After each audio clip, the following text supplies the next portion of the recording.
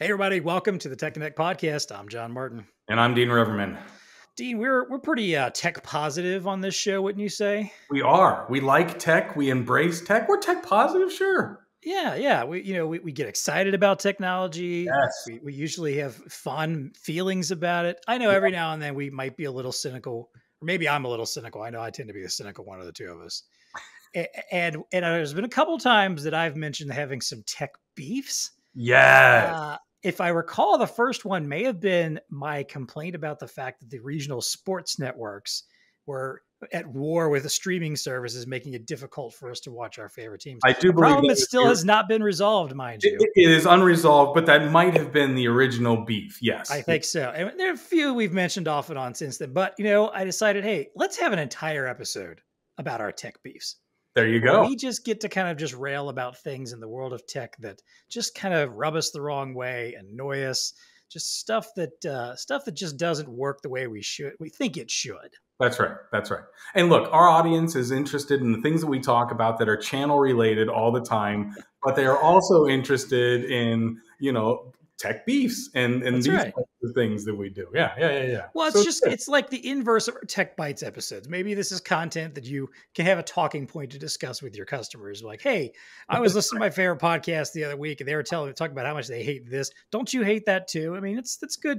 It's good kind Yeah. of stuff to talk about with somebody. water cool. That's right. So I got a you. So you got some tech beefs. I got a couple. I, I do. Yes, I've got a, I've got a few of them. You've got a few of them. So we're gonna we're gonna get to those in just a moment. We're gonna we're gonna beef our way through this episode. We're gonna get angry about some stuff, clear it off off of our palates, so we can get back to loving the technology that we do love. Uh, all that plus our usual. What's tech connecting with us? Something maybe a little more positive. Uh, and of and of course, uh, you know, we, we will tell everybody how they can get in touch with us and all that stuff because we want to hear from from you about some of your tech beefs also. Bingo. Uh, all that, uh, of course, plus our usual stuff. It's time to plug in and get connected. Welcome to the TEConnect podcast. It's time to get connected.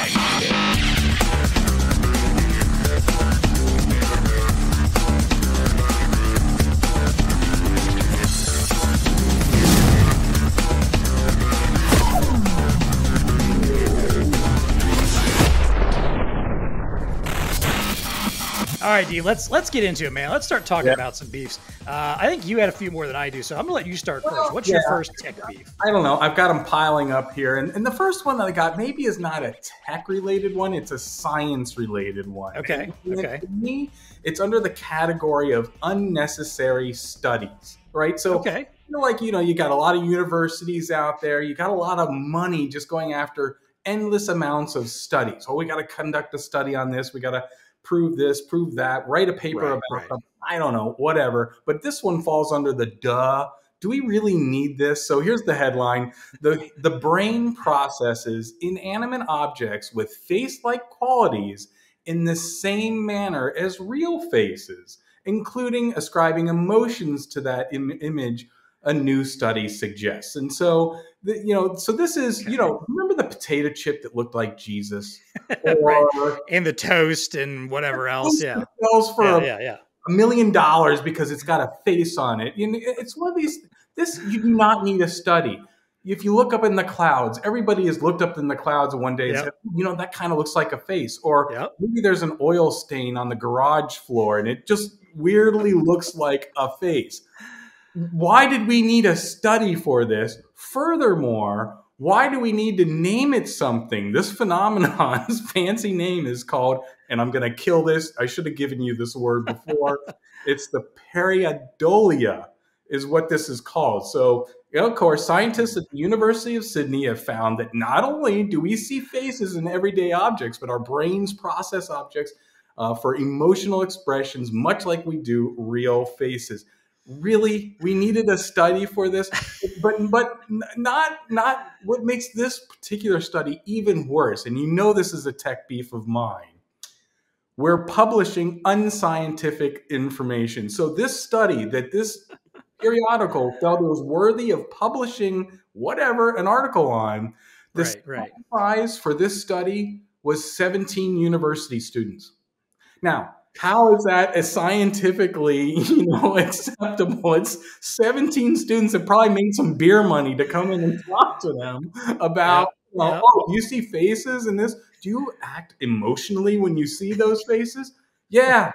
Yeah, is the answer to both of those. And so, what what are we doing here? Do you see my text? Are you less inclined to eat that toast because you see someone's face in it? Like, no, actually, I want to eat it more now. You know, like, I mean, who knows? But look at this. So now we have a university. Admittedly, I guess this is in Australia, but the, the cost of education and, and universities going is astronomical. Everybody's going into debt doing it. What are we doing? We're funding silly little research studies like this. I don't know. I just I I got a beef with that kind. I know it's not tech, but man, it's scientific, and I just think we need to pull our reins in here and spend money on stuff that actually should be studied, right? Not exactly. You know, not never mind all. paraphernalia. Yeah, never mind health conditions, unsolvable health conditions. Never mind climate change. Never mind socioeconomic issues. Let's uh, let's let's figure out if people see faces when they look at the you know the the weird drop ceiling you know in their house or whatever that you know that uh, crumbly kind of drop ceiling people have. Do you see a face up there? I don't know. That's a that's I a mean, good one. Yeah, I mean, it's, it's right. It just to me, it's just a commentary on so many things that uh, uh, could be one could argue are wrong with the way that we're spending money in parts of our society. I'm not I- against scientific research. I think it's Right, incredibly right. important, just not in this fashion. So so there was nothing about this in any way of like how this could be you know I don't know how you could get something useful out of this. Like, No, there's no meaningful information that comes out of it. It's just it's just a validation of something that we already know. right, right. I see something that kind of looks like a face, and all it needs is two dots and a little line, and and in, in somewhat close proximity, my Right. brain's going to say, "Oh yeah, that looks like a face," Right. and oh yeah, I might even ascribe an emotion to that. Look, there is uh, uh, so if you go to Blue Star and go up the back stairway. There's a little chip of paint out on one of the stairs going up, and it kind of looks like a face giving you a little quirky smirk. And it's like, I see it every time I go into work, and I didn't need a study. Do you, do you ever talk to it? You ever be like, yeah, buddy, me too. It's my will. Got you, man. It's it's Right? Friday. Yeah. it's my Wilson volleyball with the hand. There you go. on. Yeah. There you go. Oh my Give it a god. name. All right, man. yeah, so that's what's, a, that's a weird study. give me your first beef. All right, so here's my first one, and it's it's it's kind of uh, it's one thing in particular that annoys you, but it also leads to a bit of a bigger problem. So, do you currently have, or have you had in the past, Sirius XM in your vehicle? Yes, I have, and I have Okay. purchased a car where it comes with it, and then Right. they take it away from you. So right, yes, which is the case for the most part now. When you get a new vehicle, you get access to it for like three months, and then they take it away if you don't subscribe to it. All well and good. Now, back in the day, I did have Sirius for a while in my last vehicle. When you know this was you know pre, I think you know I I, I, I had a CD player, but you know this was like pre streaming services for music you know I, like I, I may have had a few different songs here on a device here and there i had a lot of cds but let's be honest local radio was kind of getting intolerable if you know especially if you're someone who likes a variety of music like i do and i'm sure and i know you do too because you have like what five to ten local stations Yep. at least five of which are essentially the same station a lot of them are owned by these, you know, corporate giants like Clear Channel, and they just play the same top 40 songs over and over and over again. Tons of commercials, awful DJs. So I was very happy to get away from that and be like, hey, all right, here's You're not a fan of the heavy rotation. That's the industry term you're looking for. exactly. Yeah, Yeah. not a fan of that. So i was very happy to get away from that and get sirius xm and like oh man like i can go to a, a pearl jam only channel. I can go to a channel that's just hits from the 90s no ads no nothing just nonstop. Like i liked all that. That was great. Now here's the thing. Eventually you know i got to the point where my phone could hold a lot more music and i you know was able to download a lot more stuff i got into podcasts i started to have no reason to listen to any kind of radio anymore well have you ever tried to cancel Sirius XM? No, I haven't. Uh oh. They don't make it easy. At least back then. This was probably like five, six years ago, maybe. Okay. And, and it was a and it was fairly long lasting. This was an issue because my wife had a problem with it too, and she bought a new car. Canceling it was nearly impossible. And this is a beef that I have just in general is people with any kind of subscription service that has like an ongoing monthly fees. And let's be honest, that's kind of the future of a lot of Oh, services. We talk about it all the time. especially with our- for sure. Yeah, exactly. Anything cloud related, anything it's streaming, it's all about, you know, a, a recurring ongoing service. But I find that there's a lot of these companies that make canceling that service extremely difficult. And Sirius was definitely one of them. Like you could log into their online portal and and mind you, just to even get your account set up and get in there, like you had to have your VIN number for your vehicle. You had to like go to your radio in your car and there was some specific channel you had to go to and a button to press to actually find your specific like code Oh, for your radio. That was just to create your account. And then you do that and you log in, you're like, I would like to cancel my services. Like to cancel, call 1 800 blah, blah, blah, blah, blah. You Oh, couldn't okay, even do it online. Got it. So got you it. had to call in, and it was one of those ones where they make you wait forever, and then the person gets you on the line, and you try to cancel. They spend 20 minutes trying to talk you into a better deal, or adding more channels, or taking some money off. But before I- you go, John, are Yeah, you exactly. Sure, Well, you know, yeah, yeah, yeah. Basically, it's the kind of thing where when I was done, I vowed never to use Sirius ever again. I, I even if if like I lost access to every other form of music or whatever, I would listen to local radio before I would actually subscribe to Sirius ever again. That's and I have to think that's that's terrible customer service. And I wasn't the only one that experienced. it. I asked other people about it, like, oh yeah, it's a nightmare. And pe- most people that get to the point where they just don't even bother trying to cancel, so they're paying that recurring monthly fee because they just don't want to go through the hassle of canceling. And that is a horrible business model. That So, is a horrible business. tech model. companies that are embracing subscriptions, smart idea, brilliant, perfect. We tell our VARs that all the time. Recurring revenue, anytime you can do something on a recurring subscription model, do it.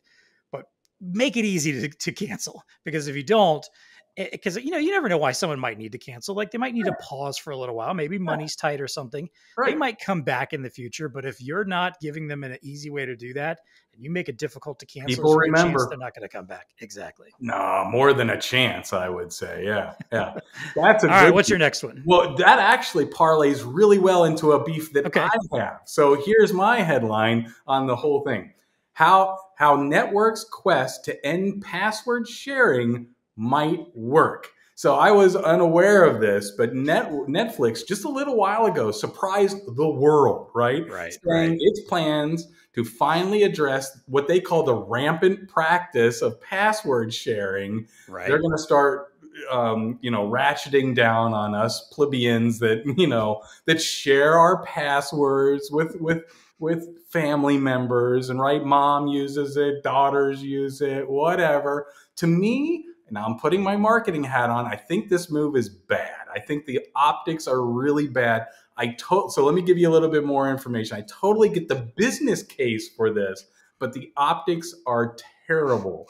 Um, let's say and this is this is directly from the chief operating officer over at netflix. If you've got a sister, let's say that's living in a different city and you want to share your Netflix with her, that's great. We're not trying to shut down that sharing, but we are going to ask that you pay a little bit more for the ability to share your password with her so she gets the full benefits and value of the service. but we also we also get the revenue associated with that viewing. Come on, dude. At So least they're being honest about what they're trying to do, I guess. Right so what they're, they're they've they've started to pilot this They they they're running it in peru and costa rica and chile why they picked on latin america i don't know but that's where they're, they're starting it there and the price difference is about two dollars to three dollars uh, you know per account if you have these add-ons. My beef is this. Look, streaming services are definitely uh, clearly the way of the future. Everybody is already starting to get a little bit fatigued on how many different Mhm. services you have to do, right? I've even started to read some stuff like bring back cable TV because that was the value, right? At least it bundled everything into one Right. area and I didn't have to cut a check to 10 different entities to get these streaming services. So when you see that, and what are you going to do? Oh, you're going to press back even harder and start charging people. Like, look, if you need to make the money on it, just raise the price a little bit. Now I know they've got some of their analytics, and they probably got people on behind them saying, "Well, you can't do that," you know, blah blah blah. You're going to erode your market share. But this one to me is a beef because, look, it's it's it's it's just one of those things that everybody does. So Right. just assume a little bit of loss here in the sense that you're not going to be able to charge people for that. Raise your rates. If you need to make up the revenue on it, fine. You can do that in other ways other than this. So I don't know, Yeah. man. I didn't I didn't like where this one was going. I'm This is beef. very yeah, this one's very interesting to me because I heard about this myself and it's funny because Netflix is also starting to really lose the streaming game to Right. other platforms, especially Disney Plus and HBO Max, which have really come out of the gate pretty strong in the last couple years to really kind of dominate that space. And Netflix has has been struggling a little bit. They've acknowledged like they're you know they're losing some subscribers. They don't give a lot of information about their subscriber numbers or ratings. You know they'll they'll throw out some stuff every now and then whenever something's like this is the most watched series ever on Netflix, and we don't even really know what that means because they're very shady about their numbers and they don't they don't they don't have to subscribe to Nielsen, you know, and like follow right. the Nielsen parameters. yeah, right. So, but but it's been pretty pretty well established that they are starting to lose subscribers. You know, people that like pay attention to social media chatter about series and and you know and have done the analytics behind that are seeing a lot less for Netflix than for some of the other services. So I think it's interesting timing that they're trying to do this now. And obviously, their thought probably is, all right, well. It's because everyone's password sharing. That's why we're not getting as many new subscribers. But here's the thing Netflix used to pride themselves on that. Right. They actually, at one point in time, they literally would say, like, hey, go ahead. You know, eh, they, Yeah. they even had advertising and marketing around, like, you know, really? sharing their pass, sharing your passwords. Okay. Sharing your password is love or something like that. Like, they used to have literal marketing around that. And now they're saying, like, no, no, no, you can't do this anymore. Meanwhile, there's other services that from the beginning didn't necessarily allow this or have, like, you know, location you know setups or whatever that keep you from doing it or you know it's got to be on the same ip address or something like that so like they're out of the gate like look we're just not letting this be a thing netflix was very permissive about it and now suddenly they think they can dial that back in and that they're not going to be consequences like come on Right? I mean, look, I at a minimum have a bad taste in my mouth. I mean, right? I mean, come mm. on. And Yeah. and I get it that, you know, they don't want it to maybe there are some bad cases out there where one password is being used on like a thousand different locations at once. maybe yeah They, they have the ability, but for an average family, I would say the average Netflix user, like like us, you know, I've got two kids that are, well, are in college, so they live remotely from here, and we've shared it Right, with them. So right. there are maybe three different households using my uh, using our Netflix log. That's acceptable, right? I mean, if it was in the ten or twenty or something like, so come up with a rule that says, hey, you can't, you know, if it's being used on more than whatever something reason. yeah some kind of a family thing like five people at a time that's it five different. Yeah, streaming streams at a time or something way better optics than this. I mean, come Yeah, on. yeah. yeah this is not i think this is going to backfire it's it's funny that i mean because obviously we talk about netflix as being this huge success story that you know broke the model and took down the video with stores Blockbuster. yeah, Yeah, exactly and now they're they are making the kind of very unsmart steps that those kind of companies made that put them out of business and and and to be honest also netflix content just isn't what it used to be Yeah. they don't have as many not gonna, shows that I'm not gonna are, bash them. I can't do that. You know, I'm not gonna get into the bashing game, but I do. I don't like the move Yeah. uh, from a technical standpoint of. of i'm with you on that Password sharing. So, anyway, well, that parlayed well into yours. So, what's what's your next beef? So my next one is uh, one I think I've probably mentioned maybe on the show a couple times, but it's a continuous source of just "Arr," to me on a regular basis, and that is the Apple Podcast app and platform. Okay. Now I know that there are plenty of other podcasters out there that you can use. You know, Dreamcast, all you know, all these other ones that you can use to to collate your favorite podcasts into one place and listen to them and build libraries and all that stuff. But you know, I'm an Apple guy. I've been using Apple Podcasts since the beginning. I've got a massive, you know, library of shows that I listen to and you know, and, and a lot of stuff that I've downloaded. So it would just to me, it would just be one of those things like a huge hassle to move elsewhere unless someone came along and said, Hey, we can literally just take exactly what you've got in pod, Apple Podcasts, export it over to ours and go from there. And by the way, our platform's not going to be wonky. Well, th- and my beef here is because Apple has, for some reason, with a lot of their last several iOS updates, made significant changes to the podcast platform that have Mm, kind of broken it at times and made it mhm. nearly unusable. So one of the big things they did is they changed the way like when you listen to a podcast, how it gets marked and, and, and removed from your library. right. They changed up that kind of stuff. And they also like, and when they did that the first time, it literally took like some of my podcasts that I've been listening to for years and have hundreds of episodes. It suddenly took those hundreds of episodes that I've already listened to and just made them all unlistened, unplayed episodes again. Oh, I So that suddenly I have- too. Yeah, so suddenly there's this ma- I suddenly have this massive load of episodes that it's saying I need to listen to, like 106 unplayed episodes. I'm like, no, I should only have the last two weeks worth. And like, and they didn't have a good way at the time either to to manually mark all those as done. So like like you had to either just either do them all individually or just deal with it.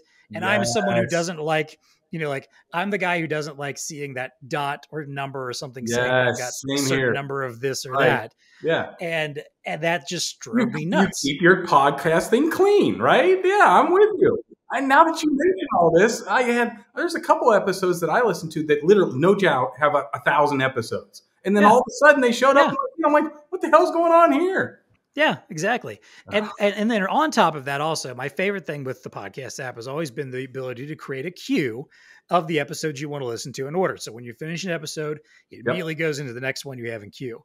Well, now finally this got fixed. Some of these problems have got fixed in the last iOS update, but that was a problem where it what was happening is just the queue would just randomly just get wiped out for no reason whatsoever. The queue would my queue would just randomly just disappear. And so and I so I'd be listening to an episode of something expecting like, all right, I queued up the next episode of my other favorite podcast after this. And suddenly it would just go into a completely different podcast, like whatever's the latest thing that had been downloaded. Like, what what's this? And I'd go and look and see, oh, that queue that I made of 30 episodes has just been completely erased for no reason. That Dude. was ongoing for like a good six to eight months or so before they finally fixed that. So Oh, I- I- and it just and now like we find like I said, some of these problems are kind of fixed. It- you can you can mark episodes played in mass now, not in a really easy way, but in a if you're caught up and you just want to say, all right, all leftover episodes I'm going to mark as played, you can do that. oh. But it's there's still issues. There's like it's a little better than it was, and I haven't had as much beef with it lately. But it was one of those you broke something that wasn't broken that everybody seemed to like, and it was one of those things where like I I, I got online, I was like, am I the only one that's dealing with annoyed with this? And found nope, there's whole communities of people out there that are are angry as hell about this. So there are masses out there that Yeah. are with you. again, I probably should find something different, but you know, Well, and Apple of all people, right? I mean, they put so much pride Yeah. between behind their UI, right? Their their, their ability to design clean, Yep. useful applications, devices. I mean, that is like their DNA. So, what do Mm-hmm. you keep messing around with the podcast for? I don't know. Like it, Now, it, it just Apple felt like I don't know if you found the same. Um, any other app they have, like Apple Music? Apple Music has made some changes that were kind of wonky and annoying too. Not Mhm. as not quite as frustrating. Mhm. Um, they made a few that they've made a few over time with that. that Well, to me, they're getting a little overt on pushing their content. I mean, they put it very Oh, yeah. up in front. And it's like, Yep. oh, hold on here. You know, I get it, right? You know, you've got your own curated program and content that you want to try to feed Right, me, but right. man, it seems a lot more over than in the past. But anyway, yeah. Yeah, and let's be honest, we know that's a problem with you know Apple and all these tech giants that prioritize you know Apple, Amazon, all these companies prioritize their stuff obviously over everyone else's, and when Yeah. when basically you have the stranglehold on your your particular marketplace, I guess that makes sense, but Yeah, yeah. you know, not cool though. Yeah, yeah, All yeah. right, what's your next one? Well, then I'm going to stay a little bit. I'm going to go into the hardware side, but I'm going to talk about cords. Okay. right? So charging cables. I've got a little bit of a tech beef. I've got two of them here that I'm going to Okay. queue up for you. So I wear an Apple Watch. Uh, and so I was traveling recently and I forgot to bring my charger. Ah, Got it. Yep, Okay. yep. So usually not a big deal though, right? So right. you can just go somewhere and get one. No, it is almost impossible to get an Apple Watch charging cord anywhere. So really, going to the airport. You know, the airport kiosks, they have them. right, right.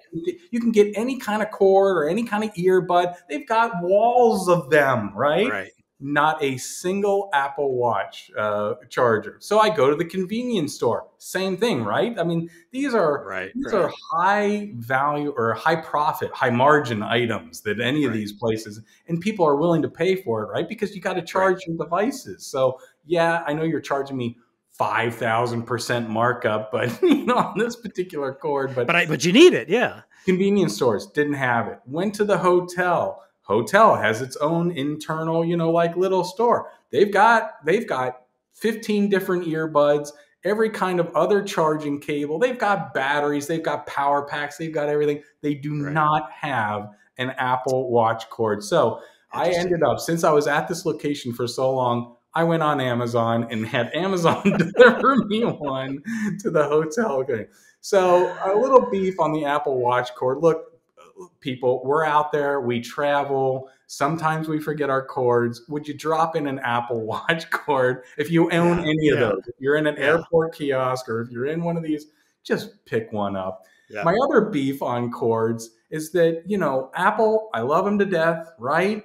But I'm sick and tired of the different cables that I've got with all my different generations of Apple products, basically. Right, Right. I just got a new MacBook Pro. They went back to the magnetic uh, thing that they would- were doing way back when. It's like, what? What? Now I got to buy this cable again? Now, here's my tech bravo though. And I typically I don't, you know, like where these things are going, but I'm sure you read the Yeah, EU yeah. has standardized the USB-C cable as the cable any manufacturer of any electronics, so tablets, phones, computers, whatever it is, you Right. have to use a USB-C cable to do that. And and I agree with why they've done it. You know, of course, they were making the argument, which is true, better for the environment. You know, now you don't have all these cables laying around Right. Right. just better continuity, right? I mean, if Yep. I'm whatever my device is, I think I normally would not be a bravo on something like that, but I am so frustrated with cables right now that I'm giving the EU a begrudging bravo for standardizing the Yep. USB-C. What do you think about that? Mr. I I'm right there with you, man. I I saw that same article. It was actually I was going to maybe use that as a tech connecting at some point in the future, but as soon as you brought this up, I was like, all right, we got to talk about this, and I Yeah. figured you were get, you were going there. I'm with you though. I I you know, and it's probably going to force Apple to to standardize across the world anyway.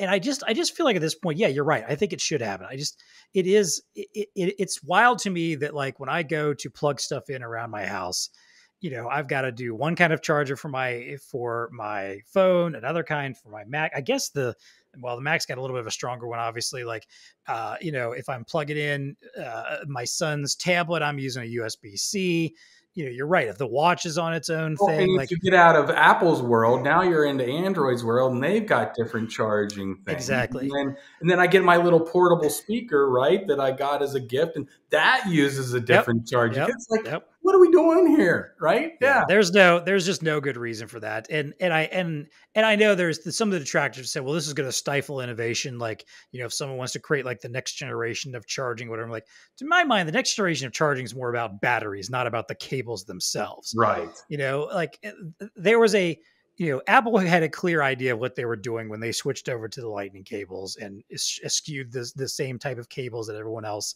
was using and they were and they even had their own different cable to begin with anyway the whole 10 pin thing or whatever it was.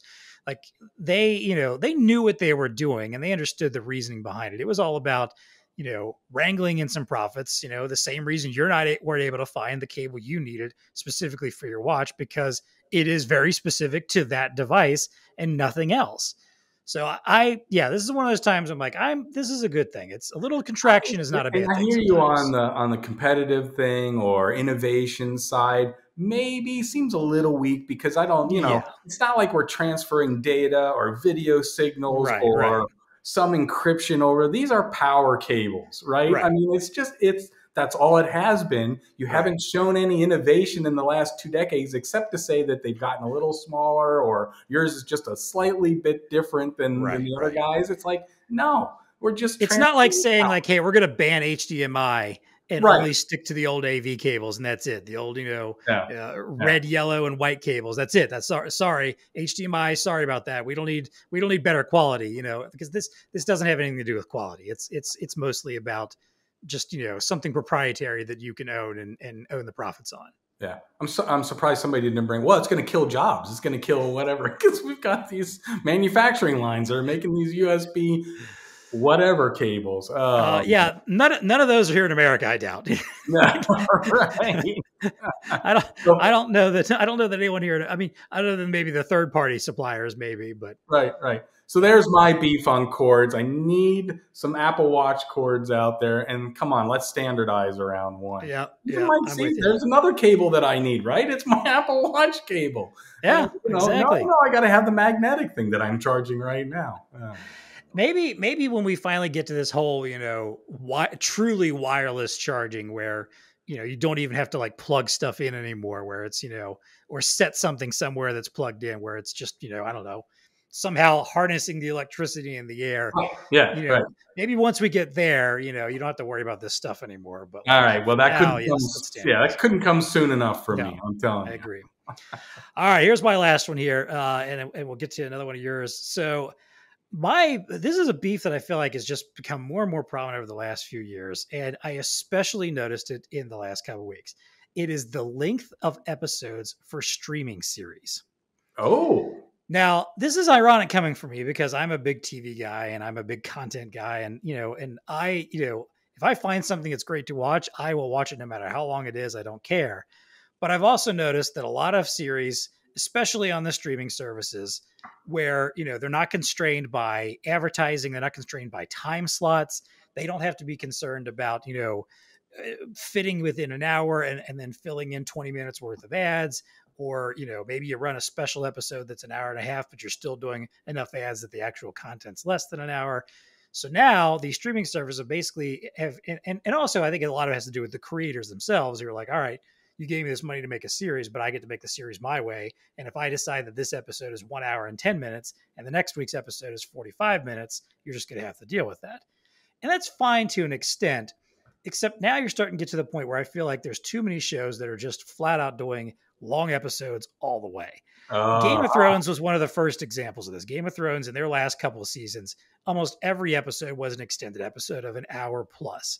And then, which again, like I loved the show, didn't mind, but you know, when you're, but, but Game of Thrones was also a series that people were watching live for the most part. mhm, And it came on at nine o'clock on a Sunday night. So mhm. if you wanted to watch live and not have spoilers and be able to talk about it to your coworkers the next day, you had to stay up and You're watch the show, up. however late it went. Yeah. And if you're not someone who stays up that late, and granted, I do, but still, like my wife would struggle sometimes. You know, Right, she was right. she's she gets tuckered out around ten o'clock sometimes. Like I'm ready for bed, and oh no, we got another twenty minutes in this episode. Oh, and we didn't start it until nine fifteen because we're watching the delayed, you know, streaming or whatever. Well, the worst example that I've seen lately is I, I I just recently finished the first half of season four of Stranger Things on Netflix, Okay. Yes. and this is probably Netflix's most popular show at this point in time. You know, a lot of the other popular Lots of ones have been- accolades. Everybody, all age Exactly. groups love this and thing. it, it is a good show. I, I do Yeah. very much enjoy it. Every single of the seven episodes that they that they put in part one of this season is over an hour long, and some of them eh, eh, eh, in the, like the hour ten, hour fifteen range.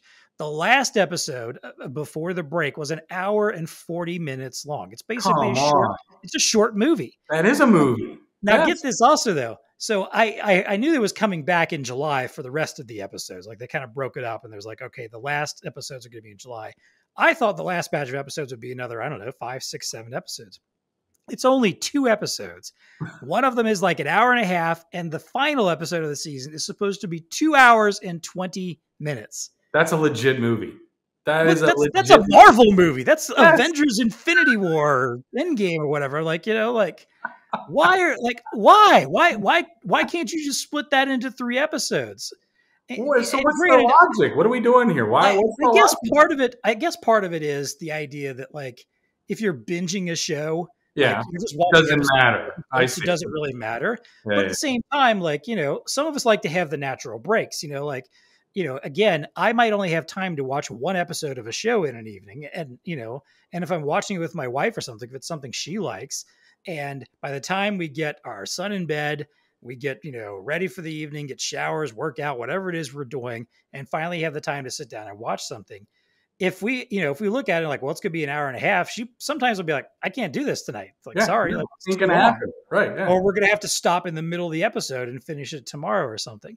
So yeah, I, I because this is becoming, like I said, it's you know, Stranger Things very clearly showed this to me, but it's it's an issue I've noticed in a lot of other streaming shows too. And the other thing too that I find is really weird right now is you've got a lot of streaming services that have like the commercial options where you know if you pay a little if you don't if you want to pay the more base price and not pay up you get the option that has commercials mm-hmm. but what i Mm-hmm. find funny is they're they're designing these shows with the commercial break still in mind even though they're not airing on traditional networks where they have to have commercials so which is i guess i get it in a way where like because it would look weird if you just suddenly interrupt the seam and shove a commercial in right. but at the same time, I noticed for a while because I used to have the the streaming subscription or the uh, the commercial subscription to Paramount Plus for the Star Trek stuff, and and I think Hulu was doing this for a while too because I've got their commercial version, where when you would go to an ad break, sometimes the ad breaks were not inserted properly.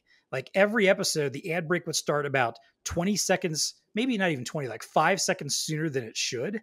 So, it, like a scene where it was supposed to have a natural break would suddenly get cut off a little bit, Mhm. the, and the ads would suddenly run and then you come back and you see like the last couple seconds of the previous scene before you move on to the next scene and this was like a big issue i think on on a couple platforms for a while and they finally kind of resolved that a little bit but at the same time and, and I, I there's a part of me that has to sit there that the the minute conspiracy theorist that occasionally will pop up in my head sits there and goes just are you doing it on purpose because you want people to to subscribe to the non-commercial version because they get so annoyed with this Yes. Hmm. like you just have to wonder about that so Yeah. But- See, I thought you were going to go the inverse. I thought you were going to start saying that, complaining that these episodes are getting too short and they're like feeding our whatever our minuscule uh, attention spans that Right, apparently right. we all have. Well, I, I do agree sometimes that kind of can happen, like uh, because I've noticed, especially Disney Plus, who has very much embraced the week to week model again. Mhm. You know, after we went through this whole phase where people were like, "No, I don't want week to week. I want to be able to sit down and binge it all on a weekend if I can." right. I think Disney Plus has recognized, especially like with their Marvel and Star Wars shows, like, hey, there's still a a, a, an opportunity for water cooler talk and an opportunity for people to get hyped and talk for a week between episodes about a show. Maybe you maybe not everybody watches it at the same exact time on the day that it's out, but we almost always will watch it within the first, you know, 24 to 48 hours of, of an episode being out. Yeah. And then there's all this time for internet dialogue and discussion and Right. people are hyped for the next episode. And I think that's good. I think that's great because I do admit, like, that was one thing I feel like was lacking sometimes with the new streaming model where it was all everything released all at once is if you didn't watch it all at once and some or you did and your friend is only watching a little bit at a time and takes three weeks by the time you've both finished you may be already done talking about it. You've already talked about it with five people. You don't want to talk about it with that friend anymore. Right. the, the Yeah. moment has passed.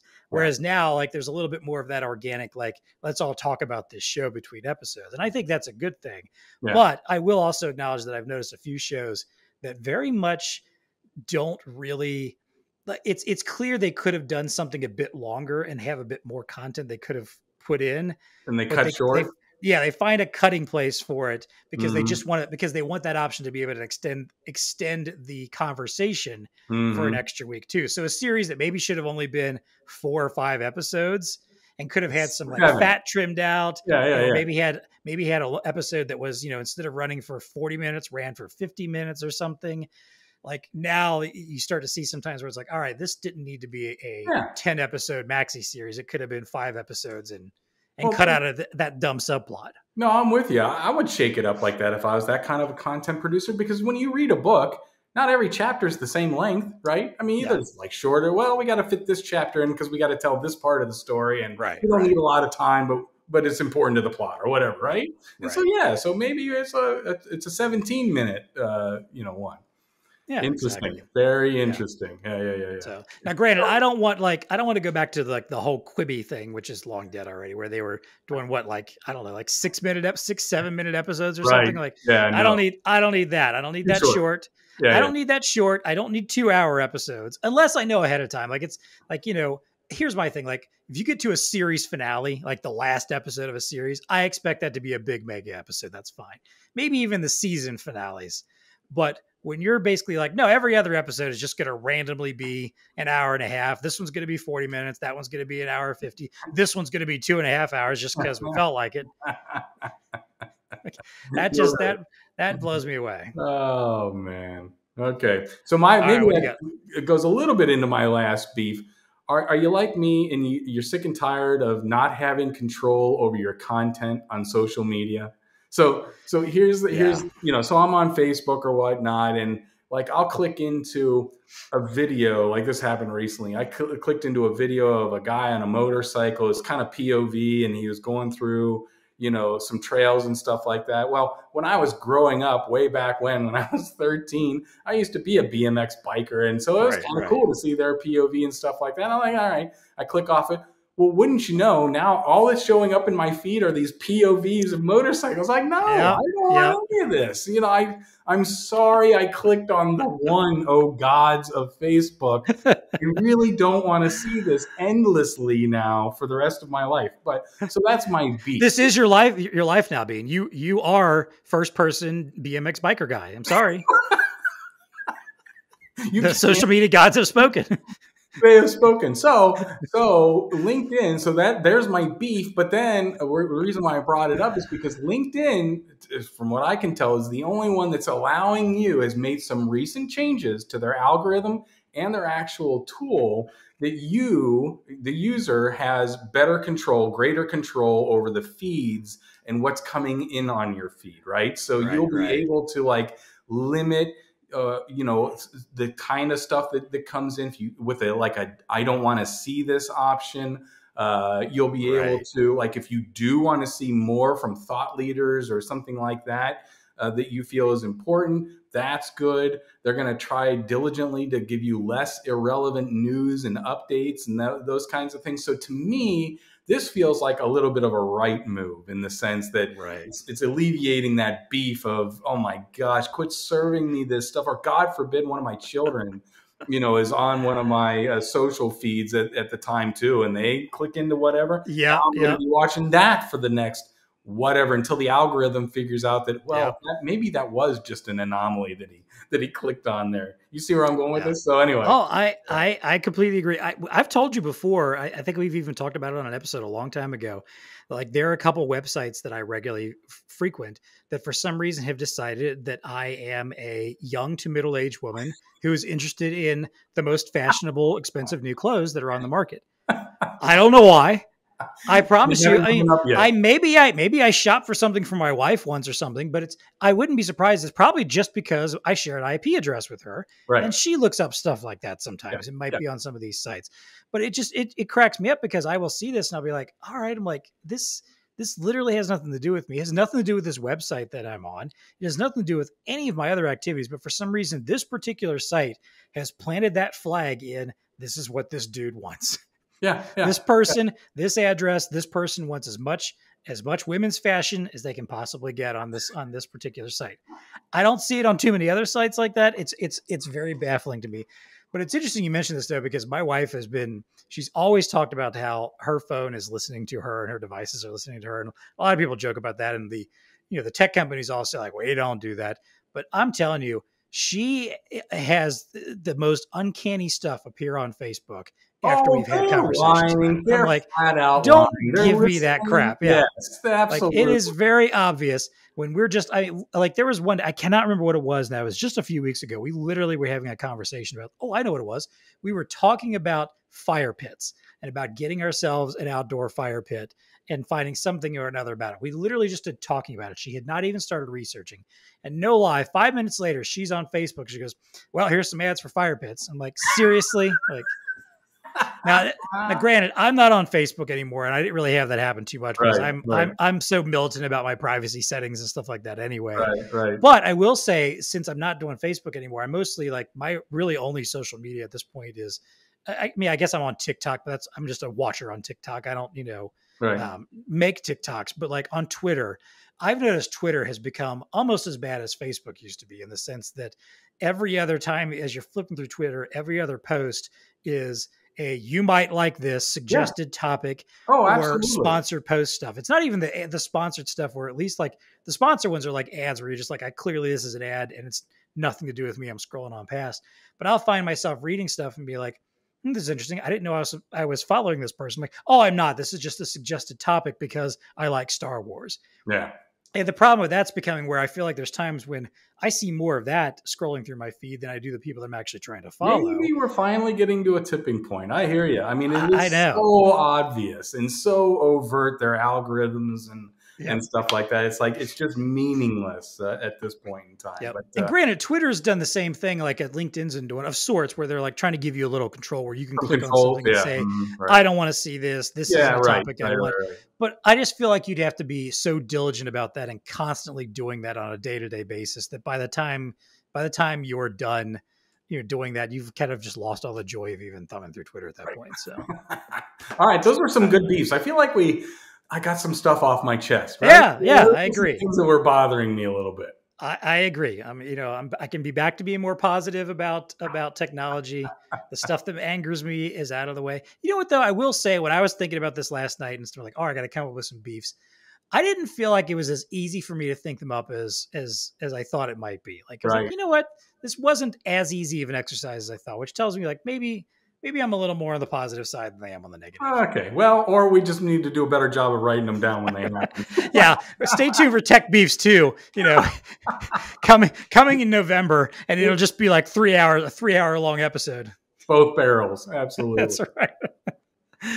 All right. Well, hey, listen. Uh, as always, if you if you like our content, as I mentioned, if you have a beef you want to share, I would love to hear what your tech beefs are. I want to know from our audience what do you get frustrated about? What in the world technology gets you know gets at you? So if you have something like that and you want to share it with us, uh, reach out to us. Uh, first of all, if you're watching this on YouTube right now, hit the like button. Leave us a comment right now. Go down there and leave a comment. Tell us what your biggest tech beef is. We'd love to see some of those.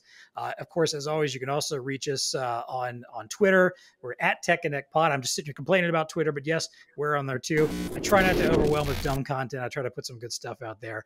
And as always, you can also email us TEConnect at bluestarinc.com. All right, hey, let's wrap things up here with uh normally we do the value to the VAR, and I think we kind of talked about this up front, this idea like, hey, you know what? Have these kind of conversations with your customers. It's good stuff to talk about. yeah, And honestly, it's the thing, human. It's not a it's it is, and it's not a bad idea to know what the tech beefs are of your customers because it's possible that some of their beefs might be stuff that you actually could solve in some way. Ah, Maybe they don't realize that. or right? Maybe they're complaining about something and like in the process reveal something. And you're like, hmm, I might actually have a solution for that. So Brilliant, Doesn't- brilliant. it doesn't hurt to ask what people don't like about technology. Yeah, yeah, uh, but sure. let's let's let's wrap up with what's TEConnect with you. This is this is where we're going to hopefully have a little more of a positive conversation Oh, about something. Maybe I don't know. Sometimes I talk about the end of the world and robots murdering us all, but not today. I promise. Uh, this is where we talk about something for the world of tech, science, innovation, business that's got our attention, caught our eye. Dean, what is TEConnecting with you this week? Here's my headline, dude. MasterCard begins pilot of its facial recognition payment system in Brazil, kind of connecting it to our world a little bit here. Okay, Technology would allow customers to check out with a smile or a glance. So, what do you think here? So, they're only doing it, MasterCard's only doing this in Brazil, but the whole idea here is like, you know, gone would be the days of an actual card or even, uh, you know, just a the the um, tap and swipe or the NFC, Right, right. right? Just all that would go away. All you need is a little facial recognition uh, to to approve. shades of Minority Report here a little bit. but I'm with you there. But it's actually coming. It's it's actually going to be a reality here. I guess they're doing it. Why they chose Brazil again? I don't I don't get it. But uh, it's a it's a, like a five grocery store chain down in Sao Paulo, uh, Brazil. That's that's where they're going to launch this later this year. You could sign up for it. And then uh, upon exiting this grocery, all you have to do is give a facial recognition and I guess some kind of smile or something that, that, that shows that you approve it. I did the, the Okay, that's a that's a good that. question. Yeah, because I as soon as you mentioned, it, I'm like, well, what's to stop someone from just like you know, I don't know, holding something up as you walk by and catching your profile and charging you for something? But Yeah. there's got to be a certain facial motion. If it, look, if that's the case, I'm going to sign it with one that's like, ah, you know, like, Oh, and you know all the kids. I'm going to make it as weird as goofy as possible. Absolutely, we'll do stupid stuff like that. That's awesome. Yeah, yeah, yeah, yeah. yeah, yeah. So I don't. And, and maybe what was the movie you referenced? Maybe we are Uh, getting Minority Report, yeah. Oh, yeah, but that was a Minority that was an eye thing. That was like a scanned retinal scan. retinals. Yeah, right. Yeah. Yeah, yeah, yeah, yeah, yeah. yeah. So So All right. anyway, so you know, I thought the Apple Watch was whiz bang and just being able to tap and Right, go. right, but hey, right. no, just glance at it, maybe give it a little wink, and that's Yeah, that's yeah. what says, yeah, you're good to go. Yeah, I could see this. Like, Um, I could, I could see some value in that. Yeah, yeah, yeah, yeah. So what's TEConnecting with you? All right, so I have a TV series to talk about. Um, you might have seen my comments on this. We if, we have this monthly thing as part of our Basecamp of you know where we keep track of our projects and what we've been working on and stuff. And Oh, right. Cordy threw Cordy threw this random question in there that every month of the first Monday of the month pops up and asks, "What books have you been reading lately?" Right. And I always scoff at it because I'm like, yeah, I barely read enough anymore. I, you know, I, I've substituted reading for other things in life, unfortunately, and I don't read as much as I used to or should. But I always catch people up like, hey, here's all the cool TV and movies that I've been watching if you want to check any of this stuff out. Well, one I just recently finished. It's been out for a few months now. I think it came out in early spring on Apple TV Plus. Now, not not the Apple TV device, the Oh, box set right. top Yeah, yeah, device, yeah. but their actual streaming service, which mostly is known for Ted Lasso at this point. That's probably what Yeah, most people have seen or watched on it. All right, there's a new show on it though called Severance, and I cannot recommend this show highly enough, especially for anyone in the world of tech or business. I'm going to give you the quick premise here. So, in this show, Adam Scott of uh, Parks and Rec and Party Down fame, if you've ever seen those, um, it, it plays a, a guy named Mark who works for a company called Lumon. And basically, the big premise of this is when he goes to work, Lumon has installed a chip in his head that that creates a concept called severance, where his memories and his understanding and his knowledge of life outside and inside of the business are completely compartmentalized and separate. This is cool. I like it so, So- far. So when he's out in the re- in the regular world, living his daily life, he only knows his outside life. He doesn't know anything of what he does at work. He doesn't know what his job is. He just knows that he works there.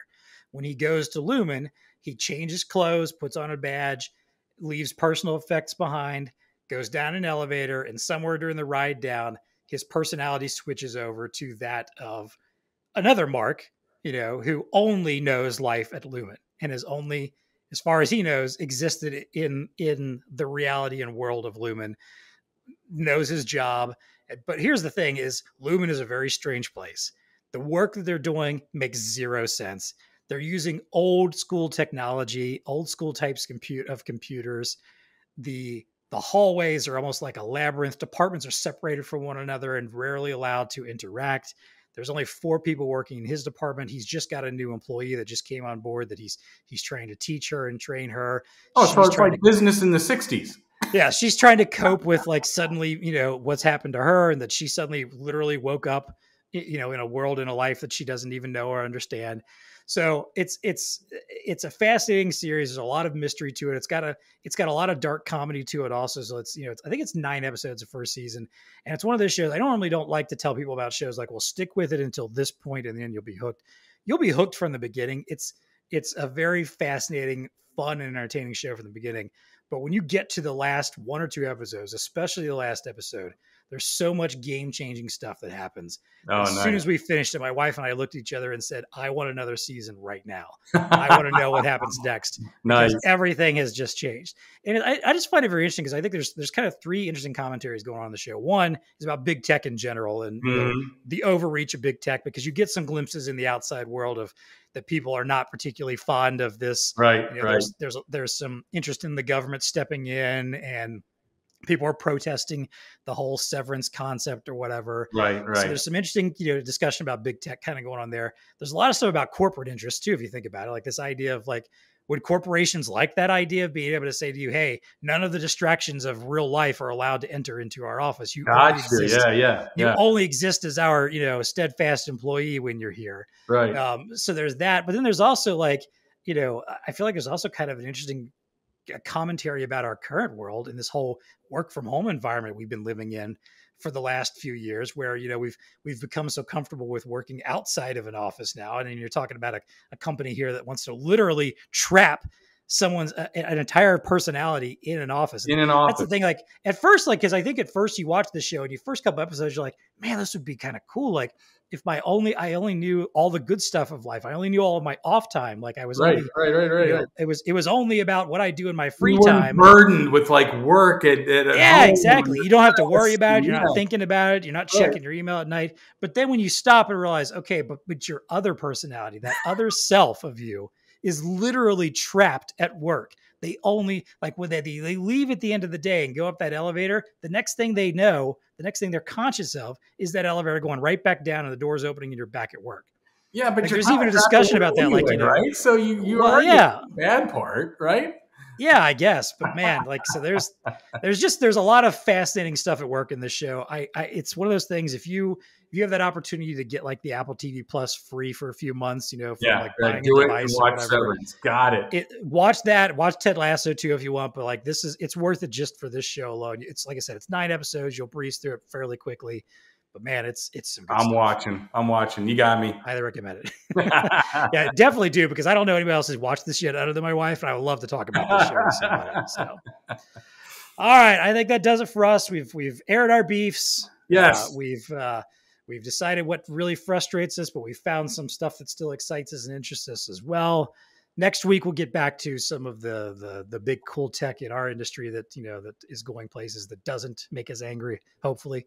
right. Yeah, absolutely. So uh, until then, it is time for us to unplug. Until next time, um, you know, maybe um, maybe make sure you pack extra charging cables. You know, go on the road. Yeah, yeah, that'd be You're just gonna have to have three of everything now, so you always remember to take one with you, Oh man, no doubt. and uh, and demand that your streaming services shorten their episodes. Bingo. Please stay connected.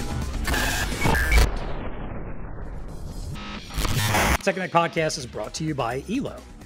Uh, if you're looking to meet the needs of both hospitality retail customers and their employees, as well as their busy on the go customers, I'm assuming that's what you were trying to do. right. So, Yeah, what absolutely. we're all kind of here for is to help Yeah. them out. Well, introducing the new Elo M60 Pay, a mobile POS computer designed to support everyday business.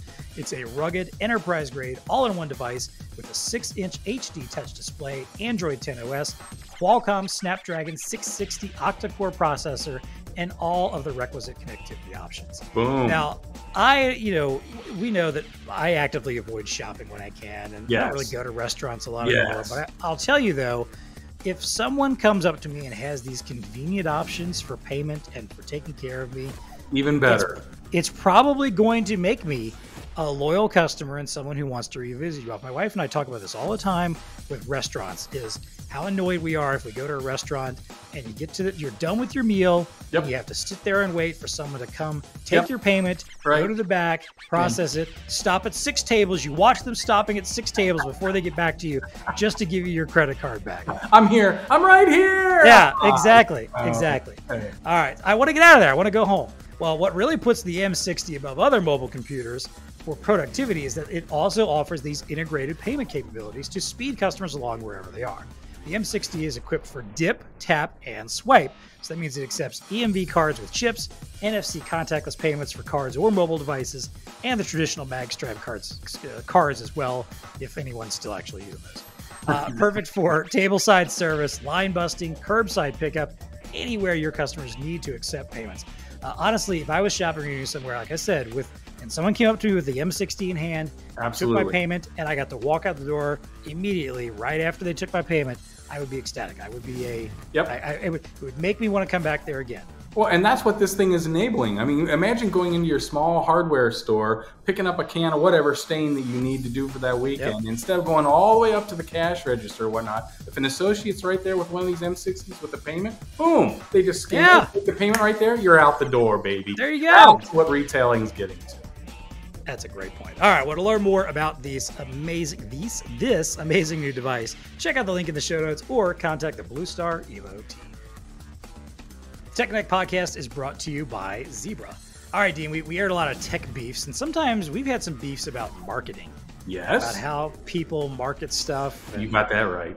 bad emails, Yep. bad websites, Yes. bad not stuff that's not mobile friendly. You can clearly Right. tell when people think they know how to market, but they don't really know how to market. Exactly. So, creative, effective marketing pieces that get attention and grow your sales pipeline. It doesn't have to be a solo mission, though. Ooh. Zebra's here to help with their new and improved co marketing builder tool.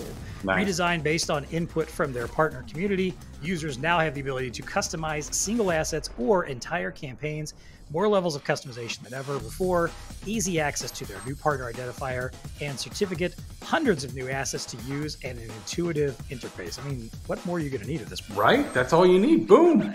Exactly. Available free of charge to Zebra Partner Connect members. You just got to be a Partner Connect member and you have free access to this.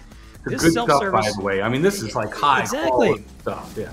It's a self-service co-marketing platform that enables you to customize Zebra marketing and sales tools with your brand spec sheets, social media content, flyers and brochures, web banners, emails, and more. So if you're a TEConnect part or a Zebra Partner Connect member, TEConnect member, that's great too. Uh, check out the link in the show notes to access the co-marketing tool. If you're not a member, what are you waiting for? Contact our BlueStar Zebra team to get signed up.